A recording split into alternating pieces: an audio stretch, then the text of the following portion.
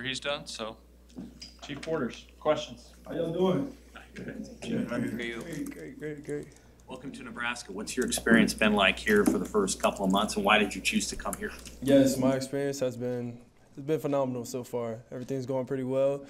Just you know, vibing with my team, grinding, and really competing with them is just setting me up and setting us up for success in the future. You came from Florida. Um, Yes, sir. What's been the biggest adjustment for you, besides the weather, to living in Nebraska? Okay, definitely got to speak on the weather because carrying a, a bag of salt in the back of your truck is definitely, definitely something I have to do all the time. But I'm pretty much used to it, having the best of both worlds. But definitely just being with my teammates, um, that's always a great experience. My goals were to come in and focus on being a better man and a better teammate and earning the team's trust. Because coming from Florida, you know, you know, it's a different type of ball game coming to the Big Ten. So I just wanted to let them know that I'm here just as as they are and coming in to ready to compete and grind.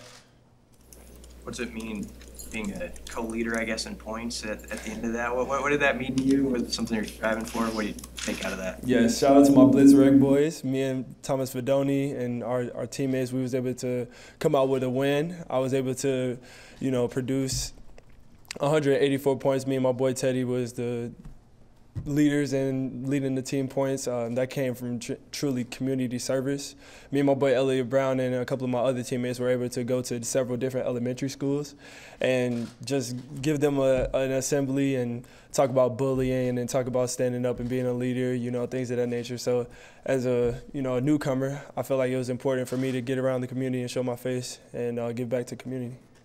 You've been on a lot of different teams. How's this one?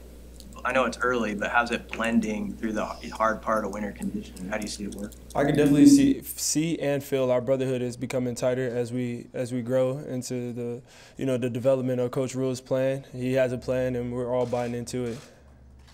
You refer to the SEC and the Big Ten as kind of different worlds.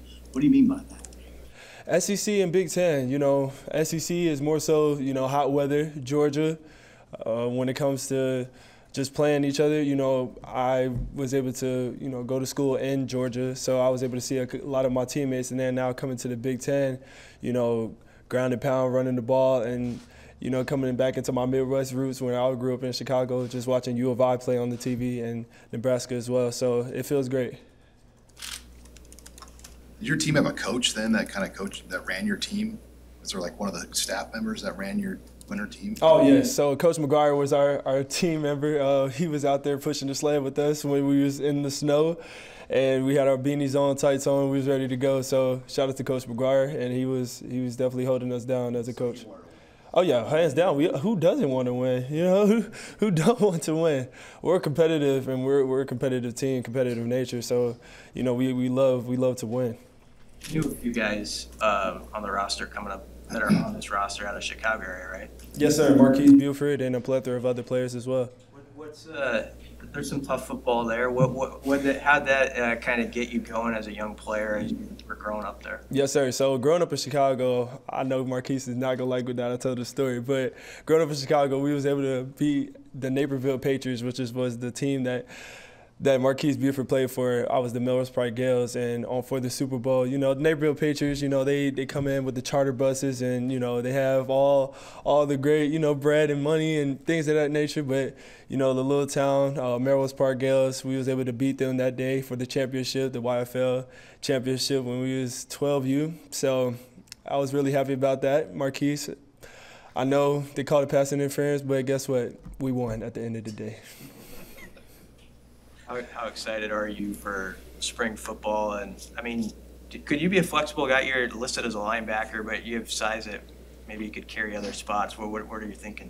Yes, sir. So really anything to do what's best for the team. You know, Coach White, he has a plan for his defense. You know, this three through five is definitely definitely something that, that you all will be excited to see. It's very maneuverable, very versatile. So I plan on, you know, doing what's best for the team. Right now I'm at linebacker, but I plan on doing a plethora of other things if told to do so. So whatever benefits for the team in a positive, great matter. How would you describe that defense? Very fun. you know, you can rush off the edge, you can drop, you can, you know, head up the ball, which is play as a stack linebacker. You know, you you're able to not just put yourself in a box and just strictly play one position, and this is what you have to do the whole time. Like you can be versatile, you can be, you know, a well dynamic player, and that's what I love doing. Um, I train for it, so it, it just works out in the best ways for me and my team. Uh, What is it like to learn? Uh, just because there's so many moving pieces and uh, position fluidity. so Can you elaborate on that just a little bit? Just like when you're looking at the scheme and there is there's a lot of different things going on. What is it like to learn? More so, you mm-hmm. just you just start off with with the front. Okay, you just start off with okay, are we in the stack personnel, which is a 505, or are we in even? You know, it, it all depends on you know what type of front we're in, and then from there you go from the blitzes and your alignments and things of that nature. So it's all about a step process. You know, you just take your time, gradually consume the information, and then you know you set yourself up for success. Just get in half of those right, and everything else is play football. Coach said that you're more than just a football player. He talked a little bit about maybe being a TikTok star, being a lead in the community. Can you elaborate on that? Yes, ma'am. So, just growing up, you know, I always had, you know, just a, a bright smile, bright character, you know, just having fun. And I just love to expound upon that on, you know, several situations. You know, playing football, I am a football player. I am also, I'm definitely a student athlete. And I love to just have fun. And, you know, I don't like putting myself in a box. I'm more so just love doing new experiences and things of that nature. So I definitely refer to TikTok as well. Um, I feel that's a great way to grow my brand. Um, that's a great way to, you know, just get people to see me and my team and, and what we have to offer. You know, not just as a football player, but as a person. Because life after football, you know, it, it, it goes a long way. What's been most viral TikTok you've ever done? Okay, so the most viral TikTok was the one most recently with me and Jessica Gardner, the pole vaulter. I don't know if y'all see that, but I definitely uh, had my trial and error of trying to pole vault. It was definitely pretty pretty fun. Um, that also has 3.4 million views on TikTok, and it's still growing. And also, uh, ESPN also reached out and was, you know, trying to get copyrights and own so they can display it on all their, you know, networks and channels. So, I guess we're heading in the right direction. Chief, the Big Ten is known for its offensive alignment, a lot of it.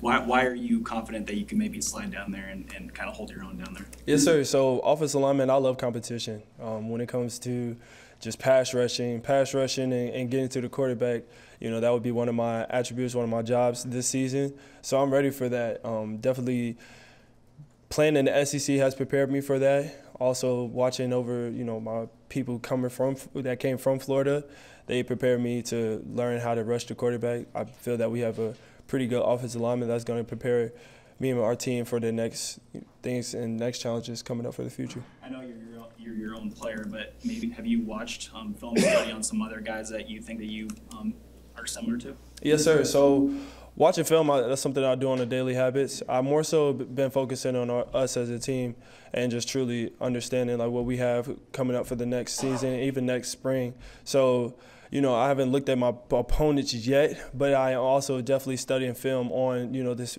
from the past Syracuse film, just learning the defense as well. But I'm always staying on my toes, and I would be watching my opponents soon. Mark Kumar for Football question about one of your former teammates is, is Anthony Richardson. He's best quarterback. And, Yes, my brother Anthony Richardson. He's he shut down down the combine and he made he put on a show for them as we knew. You know, me and my brother we talked about it for you know a long time. And when you manifest something and you put something in the air and you work towards it, you know you definitely going to achieve it. So that's what he did. How, how, has it help you better to face that guy in practice? definitely, you know, you gotta you gotta make sure you blitz on the outside outfield shoulder. So, because Ed loves to scramble, he also loves he can, he can definitely throw the ball. So you have to be aware of both both attributes and several other attributes because he can make you miss if you're one on one head up. So going against my one of, one of my former teammates, my players, my brother, he, he definitely prepared me for a lot of several situations that I'll be prepared for. So, yeah, I love him. Anything else for Chief? Chief, you do the videos with the other uh, sports, you know, stars. Yes, sir. Has doing that kind of taught you a little bit more about yourself or more yourself as an athlete beyond football? Yes, so that has also allowed me to, you know, get more involved in with the people that surround me in Nebraska, you know, other athletes at Nebraska. That has also allowed me to, you know, let myself know like what I can do, what I can put out into this world and what people like and then just, you know, piggyback off of that and, you know, keep pursuing and, you know, growing my brand and growing my brand for platforms and things of that nature in the future. All right, thank you, Chief. Appreciate y'all, man. Thank you. Thank you.